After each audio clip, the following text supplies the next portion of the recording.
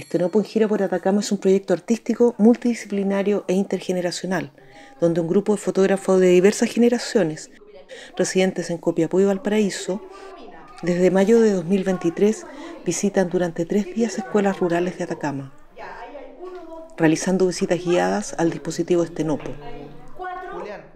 Además de realizar con los niños un taller de construcción de cámaras estenopeicas, instalar un laboratorio fotográfico análogo en las salas de clases, revelando fotografías estenopeicas hechas por ellos compartiendo su escuela de la imagen técnica, además de recopilación de fotos y relatos de infancia de adultos mayores de estas localidades emplazadas en áreas distantes de los centros administrativos de la región de Atacama.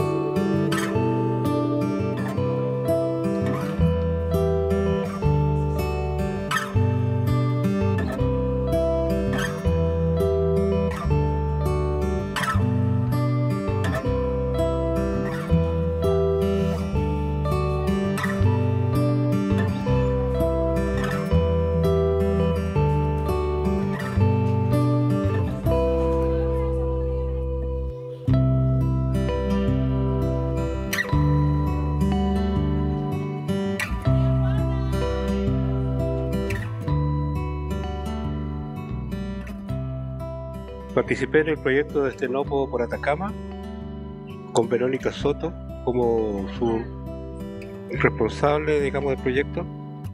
Me pareció en varias partes el proyecto eh, muy, muy relevante para mi, mi, visión sobre la fotografía, sobre todo en el aspecto de, de hacer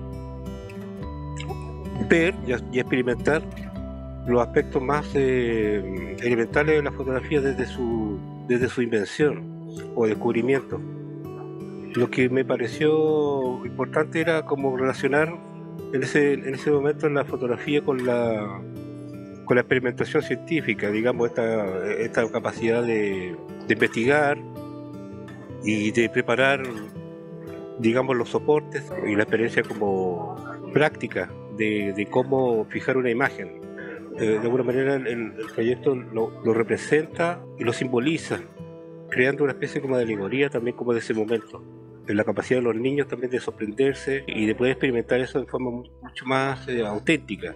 En ese sentido la fotografía aparece ahí como una especie de, de inicio del descubrimiento del mundo, como una forma como de ver el mundo en que se empiezan a revelar cosas. El mundo empieza a adquirir realidad, una realidad distinta. También está, está la, idea de del documentar, ¿ah? esta cosa de, que la, vida, los acontecimientos se documentan y pasan a ser parte de la historia.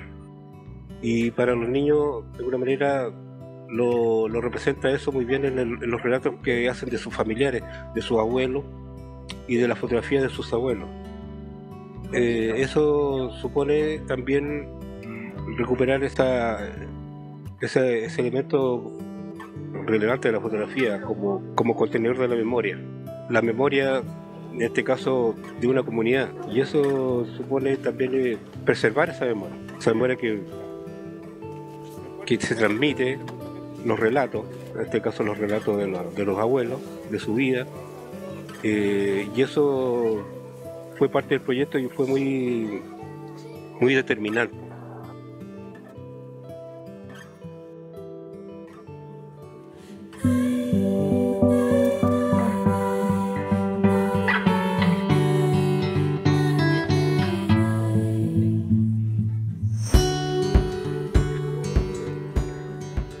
Participar en el proyecto Estenopo Cámara Gigante en gira por la región de Atacama significó para mí una instancia muy especial, muy gratificante y una experiencia muy valiosa, sobre todo asociada al concepto del viaje, entendido este no solamente como el desplazamiento de un lugar a otro, sino que también como un viaje al origen de las imágenes, al origen de la fotografía, que si bien es un fenómeno que en lo personal yo ya conocía, eh, el poder experimentarlo con niños, niñas, estudiantes que participaron en los talleres, me trajo a mí en mi experiencia personal también ese, ese asombro primitivo que uno experimenta al, al entender este fenómeno físico eh, de la luz.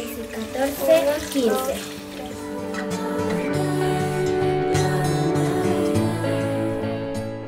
Trabajar en el proyecto Estenopo para mí fue muy gratificante desde el punto de trabajar con los, los chicos de básica y sobre todo eh, también por el trabajo que se hace en los territorios, que tiene que ver también con escuelas donde no llega normalmente este tipo de proyectos, entonces eh, ese descubrimiento que tienen los chicos, donde se fascinan con el proceso, en donde descubren nuevas cosas y la fotografía como motor de eso es hermoso.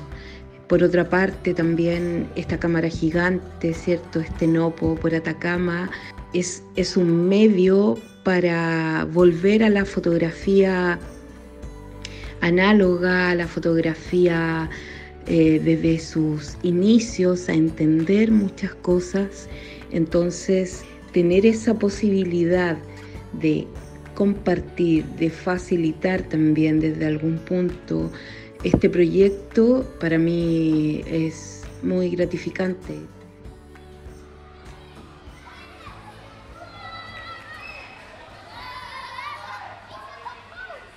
Mi abuelo le contó a mi mamá que cuando chico él quería tener una mascota y donde vivían había un río pequeño y parcelas. Él un día salió a jugar y vio a unos conejos. Entonces, como andaba cerca del río, con el pie empujó un conejo al río y esperó que llegara cerca de su casa para sacarlo. Y así le dijo a su mamá que había salvado el conejo y que se lo dejara tener de mascota. Al final el conejo tenía dueño y tuvo que devolverlo.